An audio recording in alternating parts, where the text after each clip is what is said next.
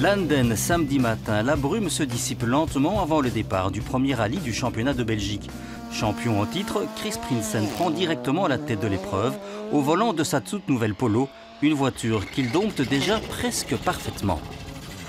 C'est aussi grâce aux deux jours d'essai euh, qu'on a fait que depuis le premier mètre, je me sentais bien dans l'auto. Je, pensais qu'on avait de bons, réglages, mais bon, le meilleur essai reste le rallye même et euh, voilà, euh, je ne pense pas qu'on s'est trompé. Dès la fin de la première boucle de trois spéciales, plusieurs pilotes pointés parmi les favoris ont déjà abandonné. Sortie pour Patrick Neyers dans la deuxième spéciale. Guillaume Demivius, victime d'un cardan déboîté, préfère se retirer. Adrien Fernémont a cassé la transmission de sa Skoda. Enfin, sortie spectaculaire pour Tobias Brûle et sa Peugeot 208 R2. La voiture part en tonneau et s'immobilise sur le toit, heureusement sans mal pour l'équipage. Excellente prestation du jeune Grégoire Munster au volant de son Opel Adam R2. Le fils de Bernard remporte la catégorie junior et participera cette saison au championnat d'Europe junior des rallyes sur une Opel Adam R2 officielle. Une nouvelle confirmée par Opel Motorsport. Pointé à 5 secondes de Prinsen, Cédric Charin attaque mais part à la faute dans la 7 spéciale.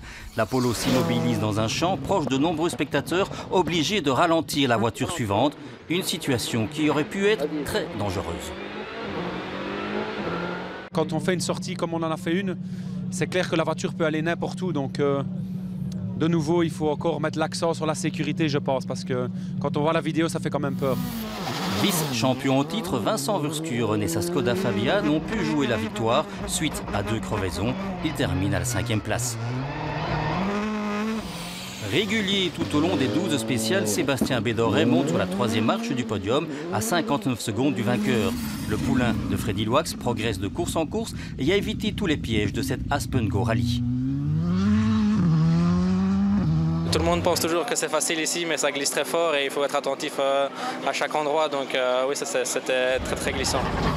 Cédric Chorin a signé 5 scratchs. Malheureusement, sa petite erreur lui a coûté une vingtaine de secondes. Il sauve tout de même la deuxième position et termine à 17 secondes.